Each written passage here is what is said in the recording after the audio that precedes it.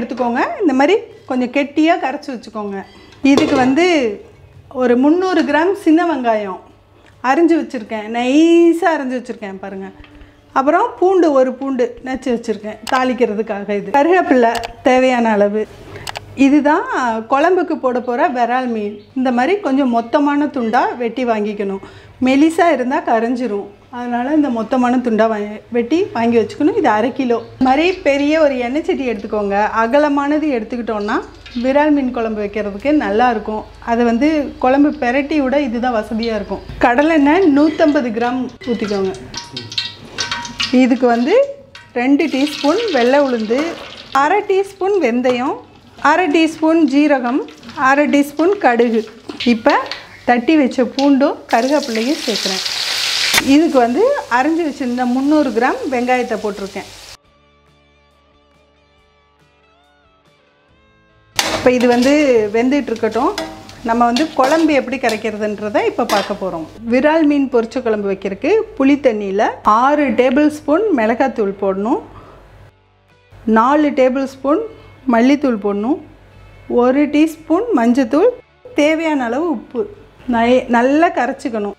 ஒரு மூ ஒரு மூடி தேங்காய் எடுத்துக்கோங்க. அதில் கொஞ்சோண்டு சின்ன ஜீரகமும் இது நைஸாக அரைச்சதுக்கப்புறம் ஒரு நாலு சின்ன வெங்காயத்தை நைஸாக அரிஞ்சு போட்டு இது பண்ணிங்கன்னா குழம்பு ரொம்ப டேஸ்ட்டாக இருக்கும். இந்த மாதிரி ஒரு தக்காளி அரிஞ்சு வச்சுட்டு கரைச்சிக்கணும் இதில். இப்போ தேங்காய் ஊற்றுறேன் இதை நல்லா கரைச்சிக்கணும் தக்காளி கரையிற அளவு. தூளாக்கி வச்ச மிளகாத்தூள் அரை டீஸ்பூன். இதை போட்டு நல்லா வதக்கிடணும். இல்லைன்னா மிளகாத்தூள் வாட வரும். இது கூட இந்த கரைச்சி வச்சுருக்க குழம்ப ஆட் பண்ணுறேன்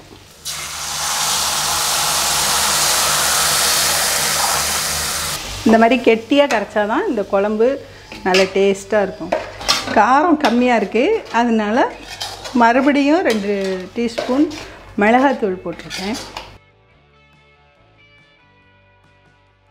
பார்த்தீங்களா இப்போ இது வந்து நல்லா கொதித்து கொஞ்சம் கெட்டியே வந்துருச்சு. இந்த டைமில் தான் நம்ம மீனை போடணும். இந்த மாதிரி ஒரே இடமா வைக்காமல் சுற்றி வச்சுருங்க.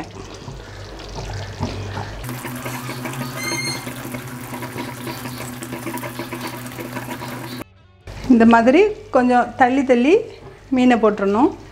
இதை வந்து ரொம்ப கிளறக்கூடாது. அப்படியே வேகணும். இந்த மாதிரி அந்தந்த இடத்துல தான் திருப்பி விடணும். இப்போ பாருங்களேன் முன்னாடி திருப்பின மீன் கொஞ்சம் வெந்த மாதிரி இருக்குது பாருங்களா? அதான். சீக்கிரமாக வெந்துடும் விரால் மீன்.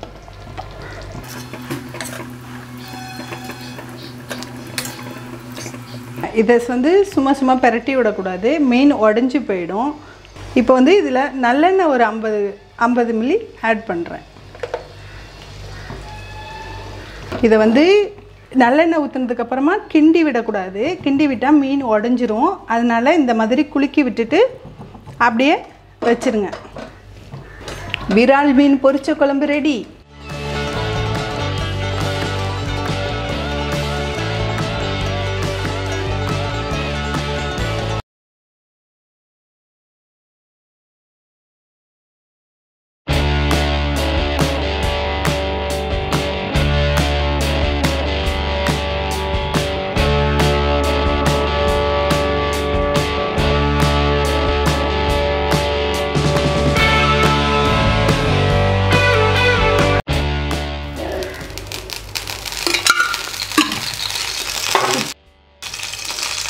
எதுக்கு தோசைகள் வச்சுருக்கேன்னா இன்னொரு ஸ்பெஷல் உங்களுக்கு ஒன்று செஞ்சு காட்ட போகிறேன் விரால் மீன் குழம்பு வச்சுருக்கோம் இல்லைங்களா?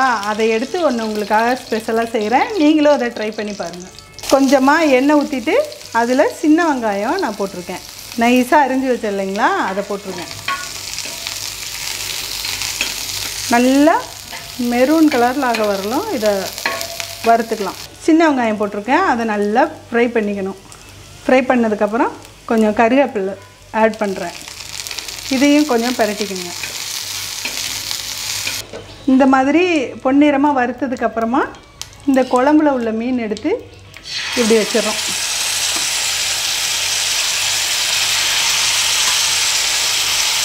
இது ஒரு டிஃப்ரெண்ட்டாக இருக்கும். ஓகே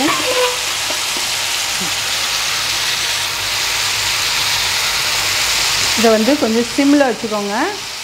மீன் வறுவல் பெருட்டுற மாதிரி லைட்டாக திருப்பிக்கிட்டிங்கன்னா அந்த வெங்காயம் கருகப்பில்லை போட்டது எல்லா பக்கமும் சாந்துக்கும்.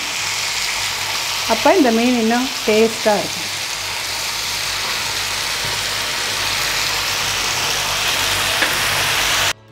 இந்த ரெசிபியை ஃபஸ்ட்டு சொன்னது வந்து ஒரத்தநாடு சித்தி தான்.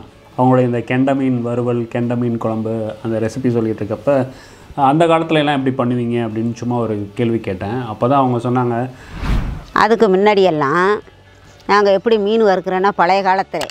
இப்போ வந்து வறுக்கிறோம். அப்போ வந்து பழைய காலத்தில் வந்து அதை வந்து குழம்பா எல்லாம் பிரட்டலை இப்படி பிரட்டி பிரட்டி அதை வேக வைப்போம் மீன். வேக வச்சு இறக்கி வச்சிருவோம். இறக்கி வச்சா அந்த மீன் சாப்பிட்டா டேஸ்ட்டாக இருக்கும். பிரட்டல். அதான எண்ணெய் ஊற்ற மாட்டீங்க. எண்ணெய் ஊற்றி அந்த தாளிக்கிறது தான். பழ பழைய காலத்து வறுவல் அப்படி தான் வறுக்க தெரியாமல் பிரட்டல். நாங்கள் அந்த காலத்துலலாம் மீன் இந்த மாதிரி எண்ணெயில் போட்டு பொரிச்செல்லாம் எடுக்க மாட்டோம். குழம்பு மீனை அப்படியே எடுத்து கொஞ்சோண்டு வெங்காயம் கருவேப்பிலை போட்டு வதக்கிட்டு அதில் அப்படியே மீனை போட்டு பெரட்டி எடுப்போம். அதை தான் ஆக்சுவலாக நாங்கள் வந்து மீன் வறுவல் மாதிரி எடுத்து வைப்போம் அந்த காலத்தில். இந்த மாதிரி தனியாக பொரியல்லாம் பண்ண மாட்டோம் அப்படின்னு அப்போ சொன்னாங்க. அதை வந்து இந்த குழம்பு பண்ணும்போது இந்த குழம்பு மீன் டேஸ்ட்டு செம்மையாக இருந்துச்சு. ஒரு மாதிரி புளிப்பாக சூப்பராக இருந்துச்சு. சரி அதை தான் இப்போ இங்கே இந்த வீடியோவில் ட்ரை பண்ணுறோம் உண்மையிலே சூப்பராக வந்திருக்குங்க. நீங்களும் ட்ரை பண்ணி பாருங்கள்